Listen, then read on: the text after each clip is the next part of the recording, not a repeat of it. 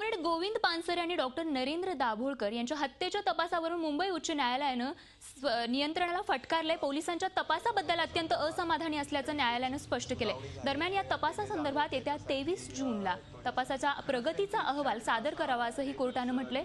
एकूणच तपास यंत्रणेला हायको कोर्टाने फटकारला आहे आणि या संदर्भात अधिक माहिती घेण्यासाठी अजित मांढरे आमचे प्रतिनिधी आपल्यासोबत आहेत. अजित काय सांगाल?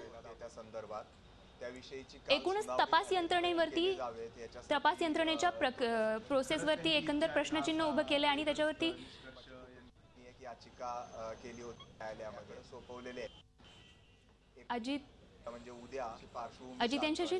आता तुर्तास संपर्क होऊ शकत नाहीये. कॉम्रेड गोविंद पानसरे आणि डॉक्टर नरेंद्र दाभोळकर यांच्या हत्येच्या तपासावरून मुंबई उच्च न्यायालयानं तपास यंत्रणेला फटकारलंय. पोलिसांच्या तपासाबद्दल अत्यंत असमाधानी असल्याचं न्यायालयानं स्पष्ट केलंय. अजित काय सांगाल या संदर्भात? आज मुंबई उच्च न्यायालयामध्ये ज्या तपास यंत्रणा आहेत दाभोळकर आणि पानसरे त्या हत्या प्रकरणातील जे काही आतापर्यंत तपास झालेला आहे त्याचा अहवाल सादर करायला सांगितला होता.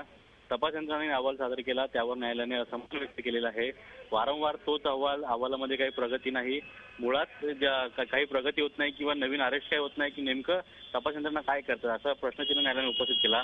एवढंच नाही तर न्यायालयाने एक गोष्ट स्पष्ट केली ती म्हणजे तपास यंत्रणा ज्या संस्थांमध्ये किंवा ज्या मंदिरात किंवा धार्मिक स्थळावर जात आहे त्या ठिकाणी पाया पडून येऊ नका. त्या ठिकाणी जाऊन तपास करा. धार्मिक स्थळामध्ये काय चालतं? विशेषतः मुंबई उच्च न्यायालयाने जे गोल्डन टेम्पल आहे त्याचं उदाहरण दिलं. की गोल्डन टेम्पलमध्ये एका माणसामुळे काय झालं होतं किती मोठा परिणाम झाला होता हे तुम्हाला लक्षात आहे.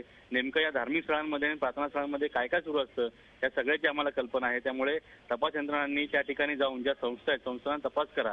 किंवा मंदिरा किंवा धार्मिक स्थळांमध्ये जाऊन तपास करा पण त्या ठिकाणी जाऊन त्यांच्या पाया पडू नका. तुमच्यावर कुठला राजकीय दबाव असेल किंवा इतर कुठला दबाव असेल तर त्या बाबतीत आम्हाला कळवा. न्यायालय सक्षम आहे त्या संपूर्ण दबावाला जुगार नाही करता.